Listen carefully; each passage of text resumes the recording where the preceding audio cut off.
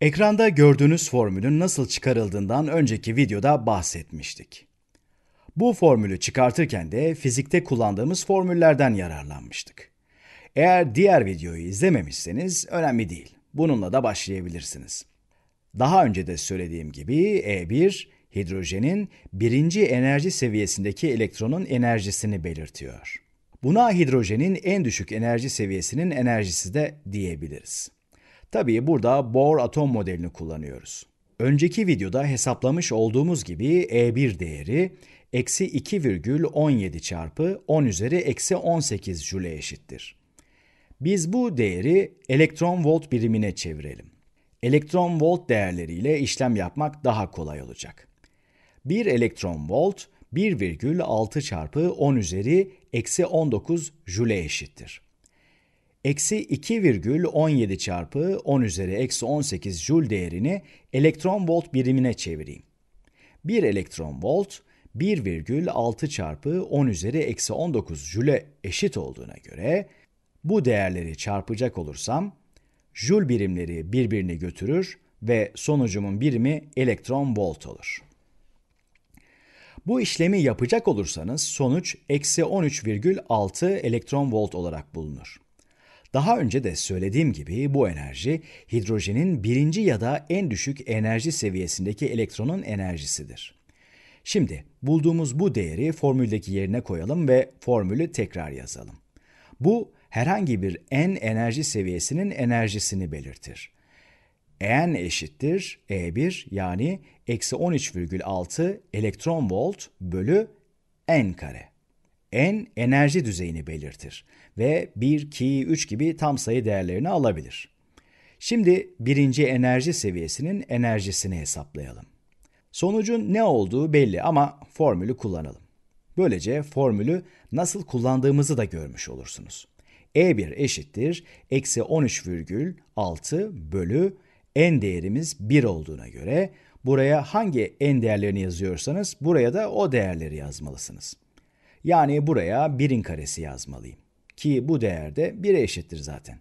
Bu durumda sonucumuz eksi 13,6 elektron volt olur. Şimdi de ikinci enerji seviyesinin enerjisini hesaplayalım. N değerimiz 2 olduğuna göre E2 eşittir. Eksi 13,6 bölü 2'nin karesi. Bu işlemin sonucu eksi 3,4 elektron volt olur. Bir tane daha yapalım. Şimdi de üçüncü enerji seviyesinin enerjisini hesaplayalım. E3 eşittir eksi 13,6 bölü 3'ün karesi. Bu durumda da sonucumuz eksi 1,51 elektron volt olur. 3 enerji seviyemizin enerjilerini burada görüyoruz. İlk enerji seviyesinin enerjisi eksi 13,6 elektron volt. E2 eksi 3,4 elektron volt. Ve E3 eksi 1,51 elektron volt. Bohr atom modeline göre enerji seviyelerinin yani yörüngelerin enerjileri belirli değerler alır. Enerjisi bulduğumuz bu değerler arasında olan bir enerji seviyesi olamaz. Ayrıca enerjilerin işaretlerinin negatif olduğuna dikkatinizi çekmek isterim. E3 için bulduğumuz değer sıfıra en yakın olan değerdir. Bu üç enerji seviyesinden E3 enerjisi en yüksek olan enerji seviyesidir. Şimdi hızlıca hidrojenin Bohr modelinden söz edelim. Biraz aşağı doğru inelim. Solda hidrojenin modelini görüyoruz. Bohr modelinde yörüngelerin yarıçapların nasıl belirleneceğinden daha önce bahsetmiştik. Çok orantılı çizilmiş olmasa da burada bir örneği var. Pozitif yüklü bir çekirdeğimiz olsun. Bunu kırmızı ile belirteyim. Bu bizim pozitif yüklü çekirdeğimiz. Bohr modelinde elektronların çekirdeği dışında kalan belirli yörüngelerde hareket ettiklerini biliyoruz. Buraya bir tane de elektron çizeyim. Yörüngede hareket ediyor olsun. Pozitif yüklü çekirdek negatif yüklü bu elektrona bir çekim uygular. Bu elektronun R1 yarıçaplı yörüngede olduğunu düşünelim. R1 az önce enerjisini belirlediğimiz birinci enerji seviyesinin yarıçapı. N eşittir 1 için enerjimiz eksi 13,6 elektron volttu. Bu çekirdeğin dışındaki ilk enerji seviyesinde bulunan elektronun enerjisi. Şimdi sağ taraftaki gösterime gelecek olursak. En üstteki çizgi enerjinin sıfır olduğu durumu belirtiyor. Buradaki değer de eksi 13,6 elektron volt olmalı. Yine bu çizgilerin aralıkları da çok orantılı çizilmiş olmayabilir. Hiç önemli değil. Bizim için önemli olan genel bir fikir vermesi. Bu çizgi n'in 1 olduğu durumu belirtiyor. n eşittir 1 olduğunda elektronun çekirdekten olan uzaklığı r1 kadar ve bu elektronun enerjisi de eksi 13,6 elektron volt. Şimdi de elektronun çekirdekten R2 uzaklıkta olduğu duruma bakalım. N eşittir 2 olduğunda elektronun çekirdeğe olan uzaklığı R2 kadar ve daha önce hesaplamıştık. Enerjisi de eksi 3,4 elektron volt. Son olarak da elektronun çekirdekten olan uzaklığının R3 kadar olduğu duruma bakalım. Bu durumda N değeri 3'e eşittir. Bunun da enerjisini daha önce hesaplamıştık. Enerjisi eksi 1,51 elektron volttu. Bu iki şemayı bir arada incelememiz daha uygun olur. Çünkü böylece hesapladığımız enerjilerin anlamını da daha iyi kavrayabilirsiniz. Örneğin buraya daha önce çizdiğim elektronu biraz daha belirgin hale getireyim. Bu elektronu düşük enerji seviyelerinin birinden daha yüksek enerji seviyelerinden birine geçirdiğimizi düşünelim. Örneğin elektronumuzu yeterli miktarda enerji vererek birinci enerji seviyesinden ikinci enerji seviyesine çıkaralım. Yeterli enerjiyi verdiğimizde elektron birinci enerji seviyesinden ikinci enerji seviyesine atlayacak. Elektrona bu kadar enerji vermemiz gerekiyor. Bu iki enerji seviyesinin enerjileri arasındaki fark kadar, yani bu iki değer arasındaki fark kadar bir enerji vermemiz gerekiyor. Yüksek enerji değerinden düşük enerji değerini çıkarmalıyım. Eksi 3,4'ten eksi 13,6'yı çıkarırsak bu enerjiyi 10,2 elektron volt buluruz. Eğer bu elektrona 10,2 elektron voltluk bir enerji vermiş olsaydık, elektronu birinci enerji seviyesinden ikinci enerji seviyesine çıkartabilirdik. Bunu yapabilmemiz için tam bu kadar enerji vermemiz gerekiyor.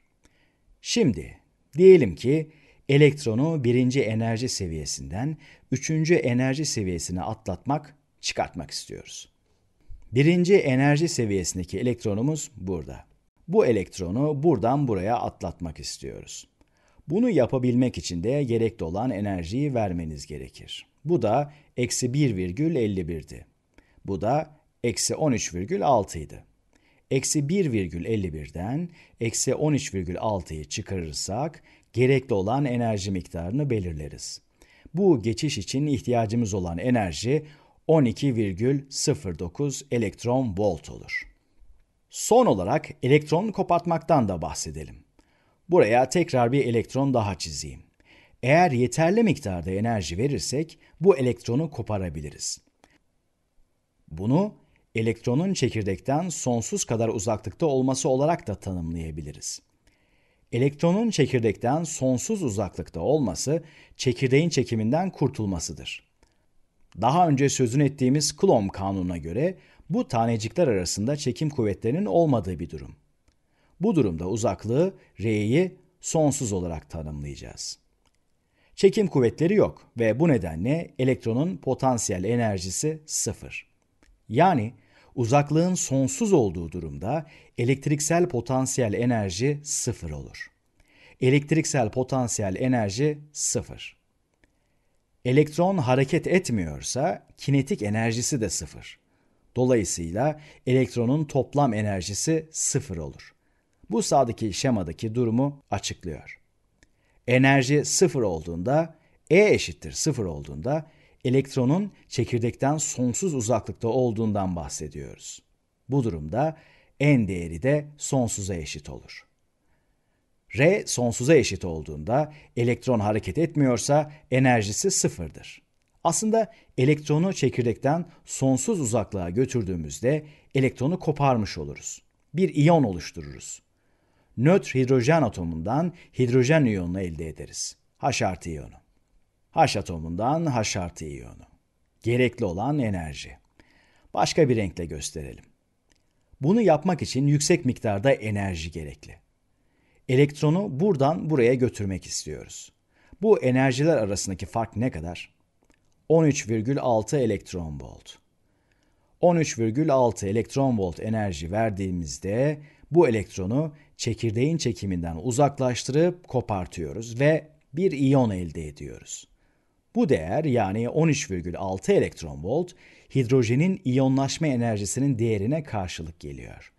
Yani Bohr modeli hidrojenin iyonlaşma enerjisini doğru bir şekilde tahmin etmiştir. Bu durum Bohr atom modelinin neden hala kullanıldığının ya da bu enerji seviyelerinin neden önemli olduğunun sebeplerinden sadece biri.